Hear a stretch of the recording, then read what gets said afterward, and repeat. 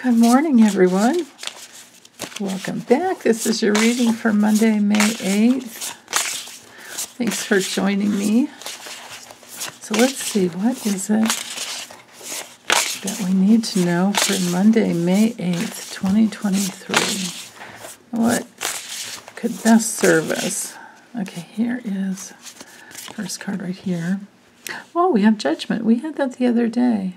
So again, we're still listening to our inner voice, which is good. We're still in the transformation field, which is what life is all about. Transforming ourselves until we get back to that pure love that we truly are. Our original level of love.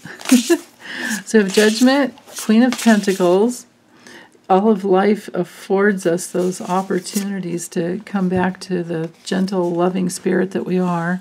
Oh, and then we have the Five of Pentacles. Okay. So it's Monday, right? Monday mornings can be like that, where now if if this because I didn't allow for rever- reversals, but if the judgment card was reversed, it could be waking up feeling a little bit down, a little um, just having a little bit of self doubt. And the Five of Pentacles could be maybe your body is uh, recuperating from the weekend. It's possible that, that there's something on the physical level because it's Pentacles, right? And we have two Pentacle cards here. In the best case scenario, this is you nurturing someone else. Well, I don't. I, shouldn't say best case, but a possibility is that the Queen of Pentacles is one of you nurturing. It doesn't matter if you're male or female. We all nurture. Uh, someone who's feeling kind of down this morning and not feeling so good. You know, like if you have an elderly parent you're taking care of, or uh, or or kids. It might be that this is just one of those days where it's like, okay, it doesn't have to be a bad day. It's just a little trouble in the morning. Now, on another level or another way of reading this, it could be that there's healing and transformation as to the past where you grew up feeling a little rejected. Maybe you had parents who, and a lot of us did, right? Had parents who were in a lot of fear around money. And so they didn't realize that we needed, uh, you know, emotional love. We needed, we needed to feel loved, right? We, we needed that connection. And instead, they thought if they just kept a roof over our head and fed us that that's all a kid needs. It's not.